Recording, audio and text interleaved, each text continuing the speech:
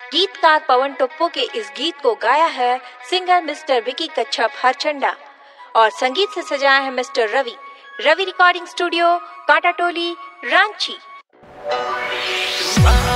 है मेरी रब से